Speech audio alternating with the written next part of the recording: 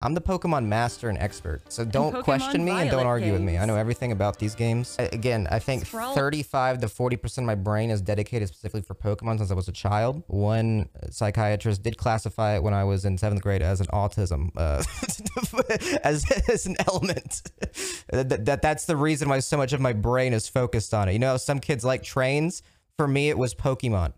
I'm pretty sure it's just OCD, but according to that one, my friend's was Ellis. Island. okay, well that sucks. Imagine being obsessed with Ellis Island over These are the Pokemon.